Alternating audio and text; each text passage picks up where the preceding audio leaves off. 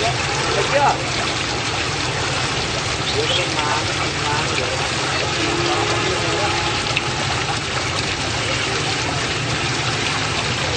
đang tắm nó đi ma rồi nó bị lắm đi cái gì không thì